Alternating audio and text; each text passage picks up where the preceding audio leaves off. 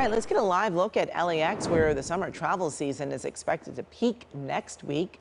This July 4th holiday is expected to be the second busiest ever for Southern California. AAA expects more than 3.4 million Southern Californians will take a holiday trip.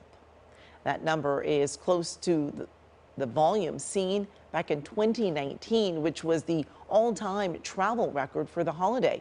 Nationally, nearly 51 million people are expected to travel, and that would surpass the record in 2019.